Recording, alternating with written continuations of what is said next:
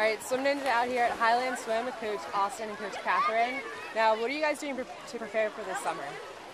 Just the same old. We have practice. As you can tell behind us, we have our eight and unders going, and we've been going for about two weeks now.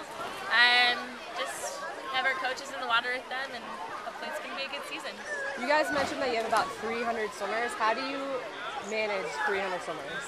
Well, um, we have about probably 12 coaches. and It helps out since we have such a large number. We can have all the kids in the water, making sure they're getting the attention they need, and the coaches are there that can pull them out, get the help that they need also.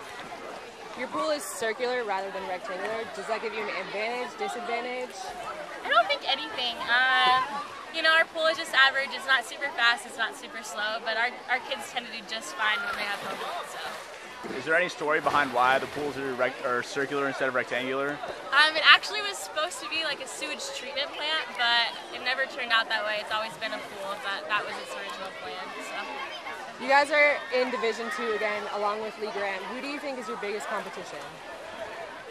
Um, probably Lee Graham. It's only my second year here, but I've been told that you guys usually go back and forth.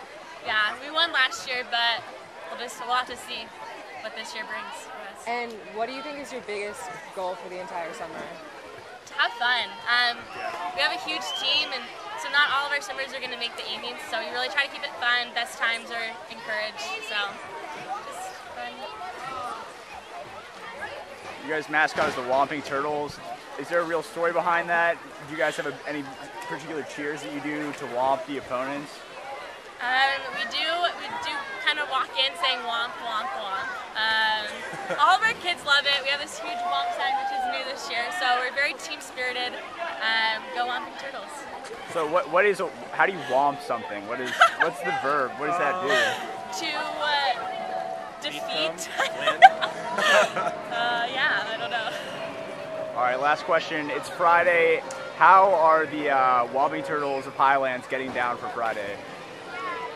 We did start singing the, the Friday song, but that was quickly shot down by Austin over Yes. here. well, we let our older kids play Sharks and Minnows so they can have a little fun on Friday.